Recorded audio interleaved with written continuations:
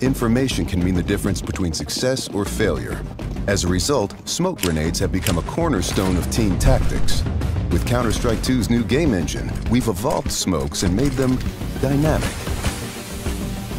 Smoke grenades now create volumetric 3D objects that live in the world. Now, not only do all players see the same smoke regardless of position, but the smoke can interact with the environment in interesting ways. It reacts to lighting, grows to fill spaces naturally. The shape of the smoke cloud can be pushed and carved by bullets and grenades. In Counter-Strike 2, smoke grenades provide even more tactical opportunities.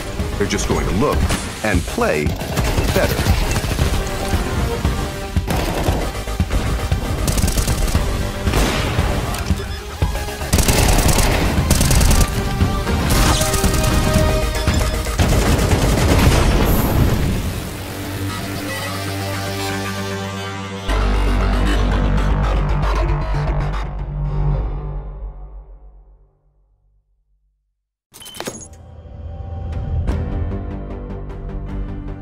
With over 20 years of history, maps are a fundamental pillar of Counter-Strike. And in Counter-Strike 2, maps are getting a new look.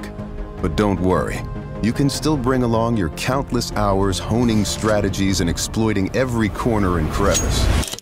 We took three approaches to improving maps while retaining their rich legacy.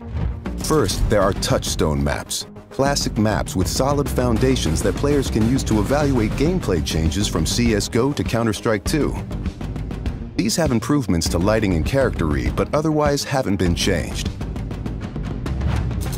Next, we have upgrades. These are maps that use new Source 2 lighting, including a physically based rendering system that produces realistic materials, lighting, and reflections. And finally, overhauls.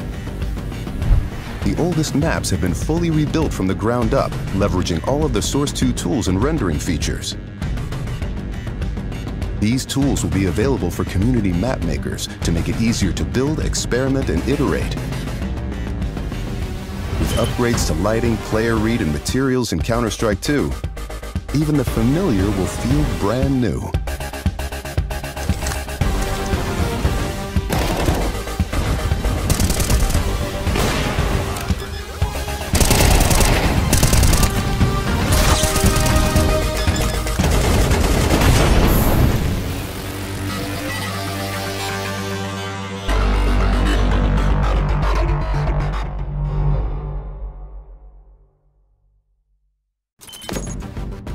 Counter-Strike is known for its visceral and satisfying gunplay. Now, firing a weapon looks pretty simple. You click your mouse, your character shoots, your target takes damage. But there's a lot more happening behind the scenes. In previous versions of Counter-Strike, the game only evaluated moving and shooting in discrete time intervals, or ticks, and time between those ticks didn't exist. For the most part, the experience was seamless.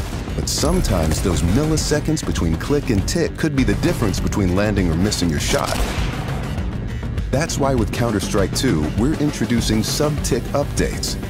Now the tick rate no longer matters for moving and shooting, so the server will know the exact moment you fired your shot, jumped your jump, or peeked your peek, and the server will calculate your precise actions between ticks. So what you see is what you get.